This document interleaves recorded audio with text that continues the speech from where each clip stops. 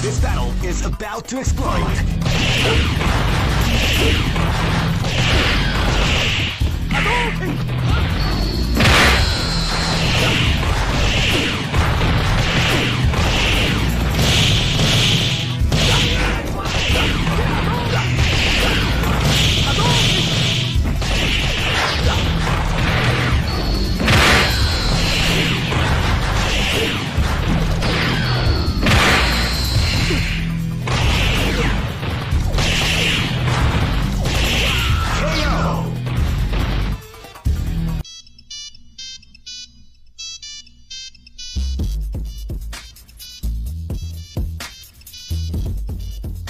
Live and let die.